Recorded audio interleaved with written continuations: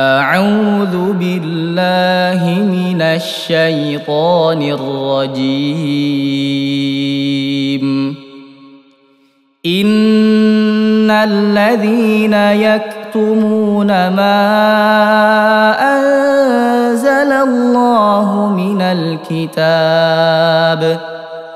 ما أنزل الله من الكتاب ويشترون به ثمنا قليلا. أولئك ما يأكلون في بطونهم إلا النار.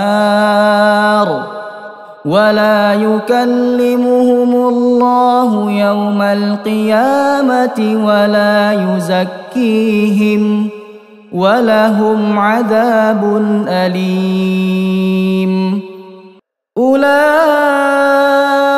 الذين اشتروا الضلالة بالهدى والعذاب بالمغفرة. فما أصبرهم على النار